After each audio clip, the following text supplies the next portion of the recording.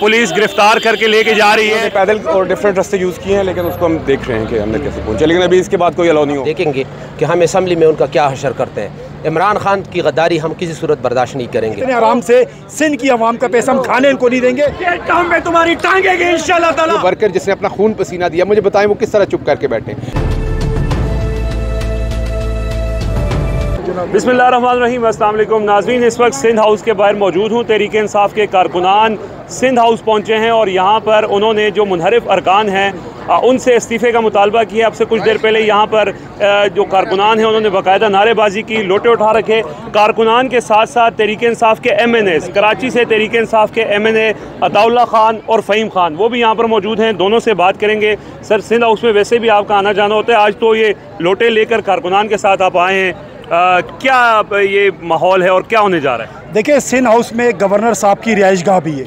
हमने वहाँ जाना था, गवर्नर हाउस, गवर्नर साहब के रिहाइश गाह पे जाना था। तो पुलिस वालों ने हमें रोका। हमें धक्के दिए, वहाँ से अंदर से जो पीपल्स पार्टी के गुंडे हैं, वो डंडे लेके, लकड़े लेके हम पे हमलावर होने लगे। तो हमने फिर उनसे रिक्वेस्ट की, ये तरीक़ेकार नहीं है। अंदर गवर्नर हाउस भी हम वहाँ जा रहे हैं, लिहाजा पूरी ने देखा, उसके बाद ये धक्कम पेल हुआ तो ये सारी चीज़ हुई।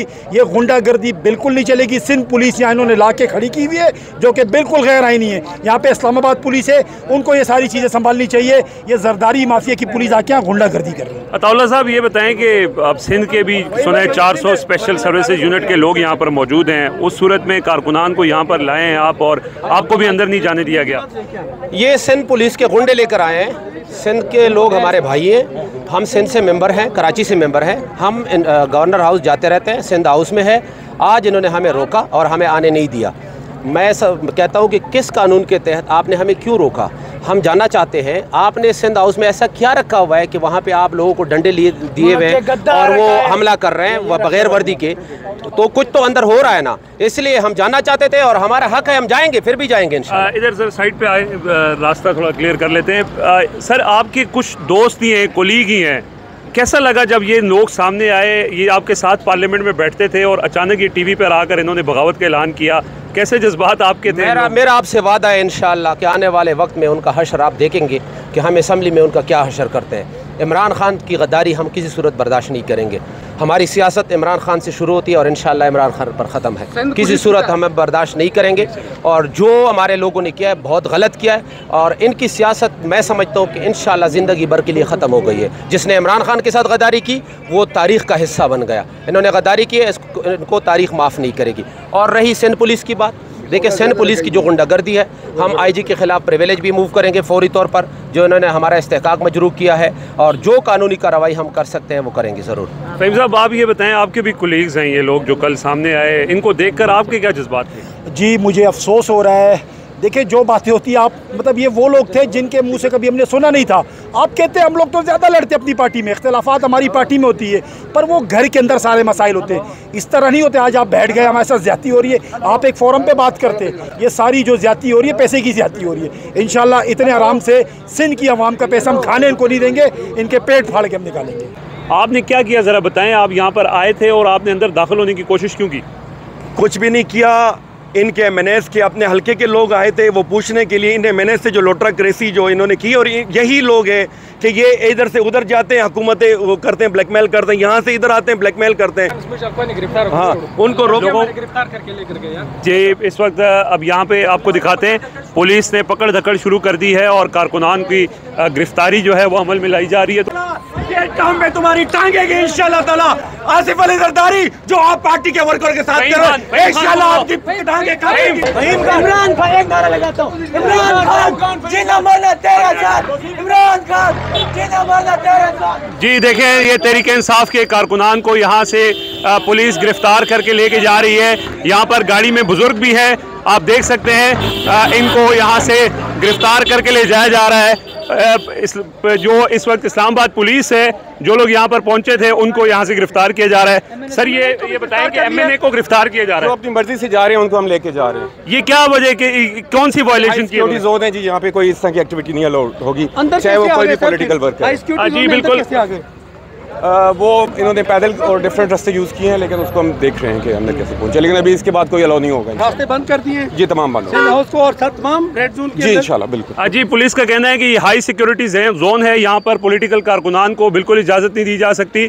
और एम एन एस के हवाले से उनका कहना है कि वो खुद अपनी मर्ज़ी से गए। अभी आपने ये सारे मनाजर देखे हैं कि तहरीक इंसाफ के जो कारकुनान यहाँ पर पहुँचे थे सिंध हाउस के बाहर उन्हें इस्लामाबाद पुलिस ने गिरफ़्तार कर लिया और उन्हीं उसी गाड़ी में जिस गाड़ी में एम एन ए जो कारकुनान है उनको लेकर जा रहे थे। उसी गाड़ी में तहरीक इंसाफ के M N A Faheem Khan और उताल्ला खान को भी लेकर जाया गया है। जितने भी कारकुनान यहाँ पर मौजूद थे, उनको यहाँ से मुंतकिल कर दिया गया है। यहाँ पर आप देख सकते हैं, सिंध हाउस के बाहर इस्लामाबाद पुलिस की बहुत बड़ी तादाद अफसरान ख़ुद यहाँ पर मौजूद हैं और उन्होंने यहाँ से जितने भी जो कारकुनान हैं, उनको यहाँ से मुंतकिल कर दिया है। तो पुलिस की बड़ी तादाद है, आप देख सकते हैं, यहाँ पे पुलिस अफसरान भी मौजूद हैं, पुलिस एहलकार भी मौजूद हैं और यहाँ से अब, जो कारकुनान हैं उनको मुंतकिल कर दिया गया है थाने मुंतकिल कर दिया गया और अब सिंध हाउस आने वाले जितने भी रास्ते हैं, उनको बंद कर दिया गया। इंसाफ के जो कारकुनान को गिरफ़्तार किया था, उनसे इजहार यकजहती के लिए वजी अजम के मावन खसूसी और तर्जुमान डॉक्टर शहबाज गिल यहाँ थाना सेक्रेटरीट के बाहर पहुँचे डॉक्टर साहब ये मामला अब ज़ाहिर है सड़कों पर आ चुके हैं, कारकुनान के हाथ में आ चुके हैं तो ये कहाँ जाके एंड होंगे? बिस्मिल्लाहिर्रहमानिर्रहीम ये बहुत ही अफसोस की बात है सबसे पहले तो। जब भी जुल्म होता है कहीं पे तो उसका पब्लिक रिएक्शन होता है। बिल्कुल ये गेट नहीं फलांगा जाना चाहिए था। गेट को धक्का नहीं देना चाहिए था।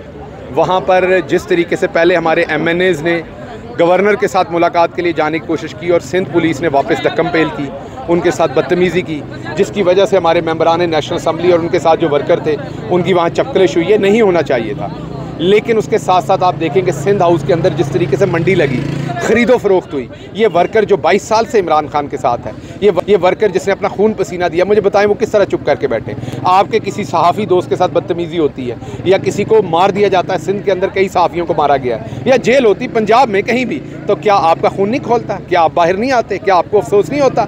इस सिंध हाउस के अंदर जिस तरीके से पंद्रह पंद्रह, बीस बीस करोड़ में उन लोगों को, उन लोगों को ख़रीदा जा रहा है जिन लोगों का मोहल्ले में कोई नाम नहीं जानता था। और सिर्फ़ इसलिए कि उनको इमरान खान ने यकीन किया कि वो ये कहते थे कि हम आपके वर्कर हैं, उनको टिकट दिया और वो एम एन ए बने और आज वो ज़मीर फरोशी कर रहे हैं। तो ये पब्लिक रिएक्शन है। मेरी दुआ है अल्लाह मियाँ से कि मामला उस तरफ़ ना जाएँ, जिस तरफ़ जा रहे हैं। और मैं अपील करता हूँ तमाम अपने वर्कर से कि आप बर मेहरबानी, एहतजाज ज़रूर करें, वो तो होना है, एहतजाज नहीं रुकेगा।